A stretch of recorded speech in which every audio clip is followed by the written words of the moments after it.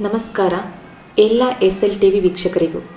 ಇಂದು ಕನ್ನಡ ಸಾಹಿತ್ಯ ರತ್ನಗಳು ಕಾರ್ಯಕ್ರಮದಲ್ಲಿ ಬೇಂದ್ರೆಯವರ ಬಗ್ಗೆ ಮಾತನಾಡುತ್ತಿದ್ದೇನೆ. ಬೇಂದ್ರೆ ಎಂದರೆ ಸಹಸ್ರ ತಂತಿಯ ವೀಣೆ ನುಡಿಸಿದಂತಾಗುತ್ತದೆ. ಮೈಯಲ್ಲಿ ಮಿಂಚಿನ ಒಳೆ ಸಂಚರಿಸುತ್ತದೆ. ಹೃದಯ ಸಮುದ್ರ ಉಕ್ಕೇರುತ್ತದೆ. ಸಾವಿರದ ನೆನಪುಗಳು ಬರತೊಡಗುತ್ತವೆ. ಬೇಂದ್ರೆಯವರು ಸಾವಿರದ ಎಂಟುನೂರ ತೊಂಬತ್ತಾರು ಜನವರಿ ಮೂವತ್ತೊಂದರಂದು ಧಾರವಾಡದಲ್ಲಿ ಜನಿಸಿದರು. ಕನ್ನಡದ ಪ್ರಸಿದ್ಧ ಕವಿಗಳಲ್ಲಿ ಇವರು ಸಹ ಒಬ್ಬರು. ಇವರ ಕಾವ್ಯನಾಮ ಅಂಬಿಕಾತನೆಯ ದತ್ತ ಎಂದು. ಬಿ ಎ ಪದವಿ ಗಳಿಸಿ ಧಾರವಾಡದಲ್ಲಿ ಶಿಕ್ಷಕರಾಗಿ ವೃತ್ತಿಜೀವನ ಆರಂಭಿಸಿದರು. ಇವರು ಗೆಳೆಯರ ಗುಂಪು ಎಂಬ ಸಾಹಿತ್ಯ ಸಂಘವನ್ನು ಕಟ್ಟಿ ಕಾವ್ಯವಾಚನ, ಕಾವ್ಯವಿಮರ್ಶೆ, ಇತರ ಚಟುವಟಿಕೆಗಳನ್ನು ನಡೆಸುತ್ತಿದ್ದರು. ಜಯ ಕರ್ನಾಟಕ ಎಂಬ ಮಾಸಪತ್ರಿಕೆಯನ್ನು ನಡೆಸುತ್ತಿದ್ದರು. ಬೇಂದ್ರೆಯವರ ಸಾಹಿತ್ಯ ಕೃಷಿ ವಿಫಲವಾದದ್ದು. ಹಲವು ಕ್ಷೇತ್ರಗಳಲ್ಲಿ ತಮ್ಮ ಲೇಖನಿಯನ್ನಾಡಿಸಿದ್ದಾರೆ. ಕಾವ್ಯ ಕ್ಷೇತ್ರದಲ್ಲಿ ಉತ್ತಮ ಸಾಧನೆಯನ್ನು ಮಾಡಿದ್ದಾರೆ. ಸುಮಾರು ಇಪ್ಪತ್ತೈದು ಕವನ ಸಂಕಲನಗಳನ್ನು ಪ್ರಕಟಿಸಿದ್ದಾರೆ.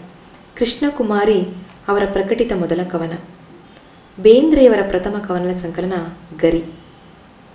ಮುಖ್ಯ ಸಂಕಲನಗಳೆಂದರೆ ನಾದಲೀಲೆ, ಉಯ್ಯಾಲೆ, ಸಖಿಗೀತ ಹರಳು ಮರಳು, ನಾಕು ತಂತಿ ಹಾಗೂ ಇದು ನವೋವಾಣಿ. ಬೇಂದ್ರೆಯವರು ಅಸಂಗತ ನಾಟಕವನ್ನು ಬರೆದಿದ್ದಾರೆ. ಸಾಯೋ ಆಟ ದೆವ್ವದ ಮನೆ, ಹೊಸ ಸಂಸಾರ ಮುಂತಾದವು. ಇವರು ಅಣಕವಾಡಗಳು ನಗೆ ಬರಹಗಳು ಉತ್ತಮವಾಗಿವೆ. ಬೇಂದ್ರೆಯವರಿಗೆ ಹಲವು ಪ್ರಶಸ್ತಿ ದೊರಕಿವೆ.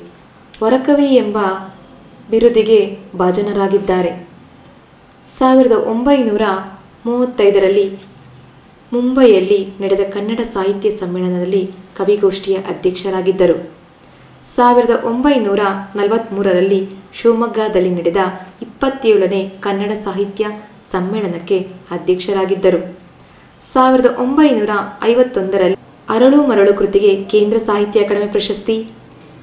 ಮೈಸೂರು ಮತ್ತು ಕರ್ನಾಟಕ ವಿಶ್ವವಿದ್ಯಾನಿಲಯಗಳು ಇವರಿಗೆ ಗೌರವ ಡಾಕ್ಟರೇಟ್ ಪದವಿಯನ್ನು ನೀಡಿದ್ದವು.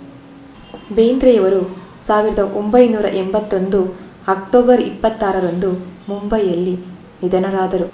ಸಾವಿರದ ಒಂಬೈನೂರ ತೊಂಬತ್ತೈದು ಬೇಂದ್ರೆ ಶತಮಾನೋತ್ಸವ ವರ್ಷ ರಾಜ್ಯದಾದ್ಯಂತ ಅವರ ಸಾಹಿತ್ಯ ಜೀವನ ಕುರಿತು ಚರ್ಚೆಗಳು ನಡೆದವು.